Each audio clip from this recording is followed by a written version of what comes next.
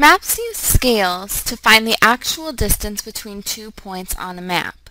They're also used to get a better idea of the actual size of an area. A scale will often look like this, and it will tell you what a given area on a map is equal to in kilometers, miles, or feet. So for example, if you were to measure from here to here on a map, that would be equal to one mile, the difference between one and two. If you were to measure from here all the way up to that two, it would be two miles. The same is true for kilometers. This would be one kilometer if you measured it on the map. Now suppose you're looking at a map scale and you measure each one mile interval to be three centimeters on your ruler. So that's one mile is equal to 3 centimeters.